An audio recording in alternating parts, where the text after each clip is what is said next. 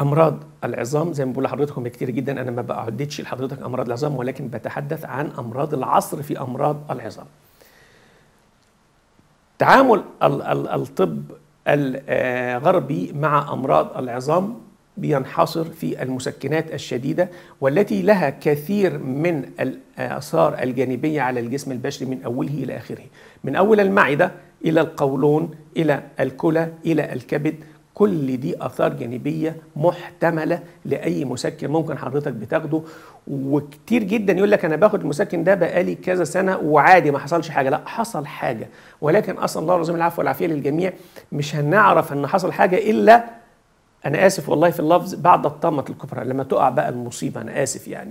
أجد إن وظائف الكلى عليت جدا وأجد إن في مشكلة في الكلى وأبتدي إن أنا أجد أن المسكنات دي أثرت على الكلى بالذات بصورة صعبة جدا جدا.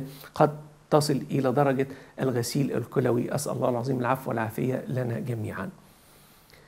طبعا قرحة المعدة وآثار المسكنات على المعدة يعني آه لا تعد ولا تحصى زي ما بنقول تصل إلى درجة قرحة المعدة الدموية أو قرحة المعدة اللي بتنزف تصل إلى حد تآكل آه جدار المعدة إلى آخره. ناخد بالنا كويس جدا من المسكنات. دي أول آلية من آليات الطب الغربي. يتدرج الأمر بعد ذلك في التعامل الطب الغربي ال Western medicine. إلى العمليات الجراحية. ما إحنا بنبدأ بالحالة وأنا آسف في الكلمة يعني أنا سمعتها من زميل فاضل وأنا زعلت ولكن هو قال لي هو ده الطبيعي. بيقول لي هو المريض أنا بديله مسكنات وبديله حاجات ومستنيه يجي يعمل عملية. يعني أنا بديله المسكنات والحاجات دي وكلها حاجات مؤقتة وأنا مستنيه يجي يعمل العملية. طب أنت قلت للمريض بتاعك الكلام ده يقول لك لا ما هو ما ينفعش أقول للمريض كده أنا سايبه لغاية ما الحالة تتطور. والعمليات الجراحية في خشونة الركبتين أو في تآكل غضروف الركبة هو تغيير مفصل. تغيير المفصل من العمليات الكبيرة جدا المكلفة جدا وأنا آسف في اللفظ التي قد تفشل في كثير من الأحيان. الجراحة في الفقرات القطنية اللي هي بنركب الشرائح والمسامير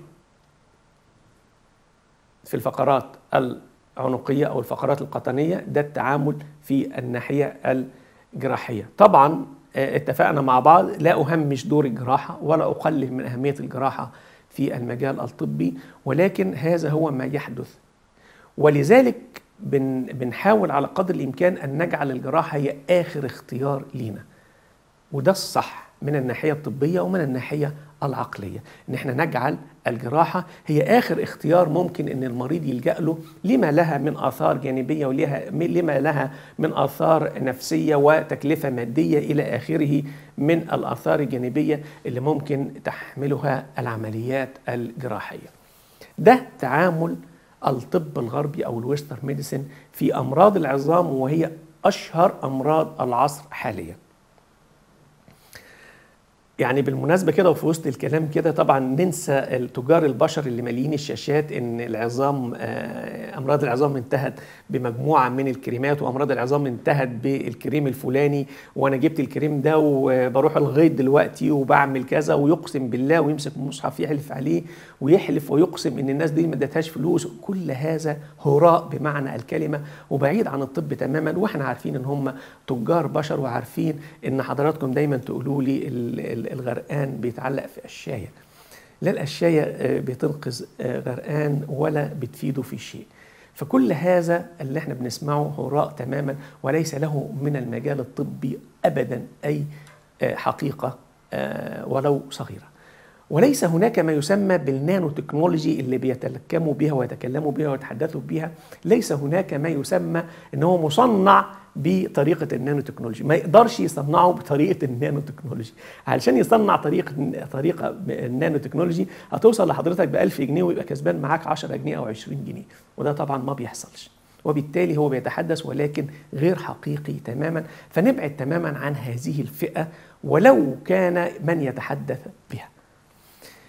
أما في الطب البديل أو ال alternative medicine بآلياته المختلفة سواء الحجامة سواء الأعشاب سواء الابر الصينيه ال acupuncture آه سواء الليزر سواء الشياتسو إلى آخره من آليات الطب الغربي المحترمة والمعترف بها أجد أن التعامل مع أمراض العظام بيختلف تمام الاختلاف عن التعامل في الناحية الغربية أو ال Western medicine واجد ان إحنا بنحاول زي ما قلت لحضرتك على قدر الامكان نبتعد عن العمليات الجراحية.